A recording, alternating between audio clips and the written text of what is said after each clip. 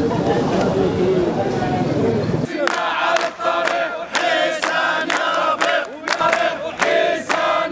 للأسف اليوم كانت النطق بالحكم في في القضية اللي كان متابع فيها الأستاذ حسان البرلماني في مجلس مستشارين عن مجموعة الكونفدرالية الديمقراطيه للشغل والصحفيين الأربعة في إطار ما يسمى بتسريب معطيات عن لجنة تقصي الحقائق.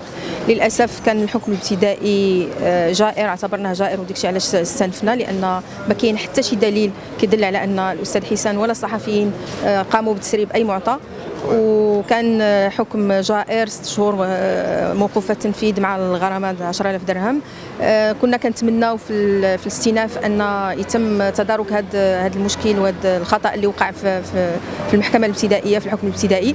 لكن كنتاسفوا وكان يعني فوجئنا بأن الحكم يعني كيتأيد الحكم الابتدائي تايد رغم أن وكيف ما لاحظوا الجميع أن ما كاين حتى شي دليل. وهذا الشيء اللي أكدوه المحامين مشكورين جدا لأن كانت مرافعات قوية جدا. ولكن للأسف كنا كنتمناو أن القضاء يبرز يبين بأنه مستقل وبأن عندنا أمن قضائي. يعني المواطن المغربي يمكن له يطمئن على الأقل لما يلجأ إلى القضاء. ولكن للأسف كنكتشفوا بأن لا شيء من هذا كاين والقضاء في الحقيقة لم ينصف الأستاذ حسان ولا الصحفيين الأربعة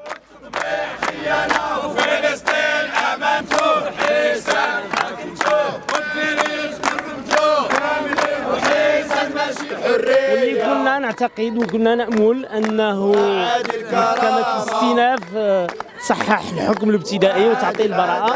مع كامل الأسف هذا الشيء ما كانش.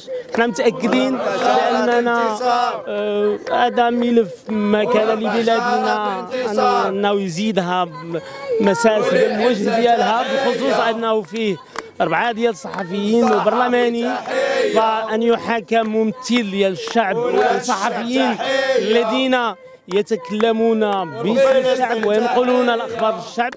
فهذا كان فيه علامة استفهام كبرى. من طبيعة الحال غادي نشوفوا مع المحامون ديالنا. وأكيد المحامون مع المركزية غادي ناخذوا القرارات المناسبة. من أجلهم نناضل من أجلنا يحكموا ما تنساش تابونا في لاشين وتأكد بالجرس باش يوصلك جديد الفيديوهات من هيت بريس.